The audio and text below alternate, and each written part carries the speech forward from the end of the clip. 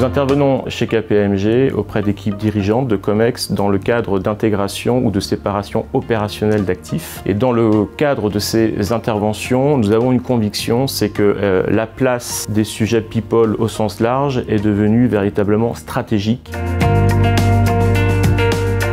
Les premiers enjeux sont des enjeux techniques, réglementaires, sociaux. Au-delà des enjeux techniques se pose également la question de la légitimité du projet, puisque euh, dans ces moments exceptionnels, l'entreprise se trouve confrontée à la réalité de ses valeurs, de ses pratiques, de ses ambitions stratégiques. Comment on travaille cette question de la légitimité Autour de trois axes? Le premier, c'est la lisibilité et la pertinence du projet stratégique. La seconde, c'est la crédibilité. Est-ce que mon projet va être convaincant euh, sur le plan euh, de mise en œuvre opérationnelle? Et puis le troisième volet, c'est la responsabilité sociale de l'entreprise qu'on oublie trop souvent. Au-delà des enjeux réglementaires et sociaux euh, qui vont devoir être euh, gérés euh, pendant la transaction et qui sont critiques, nos clients ont aussi d'autres finalement types d'enjeux qu'ils vont devoir adresser. Alors notamment la définition des organisations cibles hein, qui va devoir servir l'ambition et la stratégie future de l'organisation. Leur deuxième enjeu, ça va être d'engager et de retenir les talents qui seront clés pour la réalisation de la stratégie future. Et puis finalement, au-delà de ces, de ces talents, ça va être aussi euh,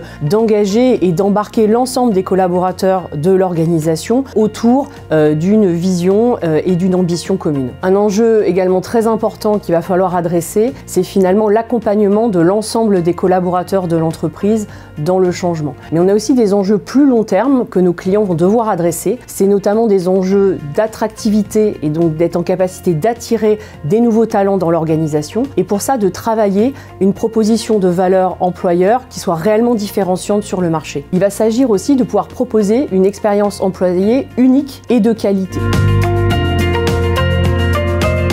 Notre ambition chez KPMG, c'est de proposer cette solution intégrée à nos clients, une solution de bout en bout, euh, depuis la phase pré-deal jusqu'à la phase d'exécution où on va actionner euh, ces leviers de création de valeur avec une équipe d'experts euh, dédiés avec des compétences fonctionnelles spécifiques à la finance, IT, la partie procurement, achat, les opérations au sens large. Et on va également adresser le volet people et social de manière transversale. Et le cas échéant, on peut aussi solliciter des compétences dans d'autres pays si c'est nécessaire.